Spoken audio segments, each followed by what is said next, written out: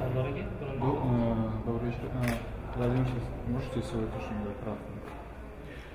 Очень тяжелая игра для нашей команды получилась. Э, Особенно в первом тайме ничего не получалось. Ни командной игры, ни ну, вообще взаимопонимания нет. Не знаю, с чем это связано. Сейчас будем, конечно, разбираться в этом. Но сегодня выиграли. И три очка были очень важны для нас.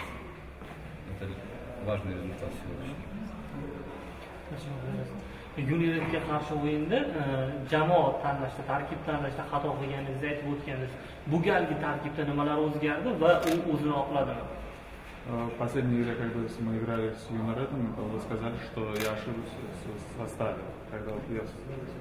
А вот сегодня, сегодня какие изменения было в составе?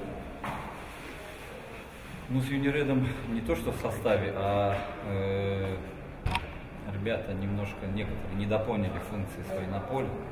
Мы перестроили схему там с Юниредом немножко, поэтому сложно было им немножко играть, подстроиться туда. Сегодня вернулись к своей старой схеме игры. Ну, в принципе, она знакома ребятам, но тем не менее, не знаю, что-то что немножко, может быть, где-то в голове не этой игре. Zafar polvonovga imkoniyat kam berilayotgani asosiy tarkibda tushmayotgani u yosh bilan bog'liq masalan Э, Павлов э, вот играет почти через замену.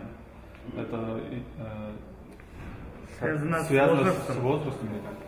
Ну, в первую очередь, да, конечно, потому что все-таки у него возраст, и ему легче играть, когда команда немножко подуставшая, и он усиливает нашу игру. Но это, это тактический ход, у нас э, всегда этот вариант есть, потому что когда он выходит на поле, он усиливает нашу игру. Хочу сказать, поблагодарить соперников. Сегодня они хороший футбол показали, и даже в меньшинстве играли, нам было сложно. Хорошая игра у них, но немножко им не повезло. А так,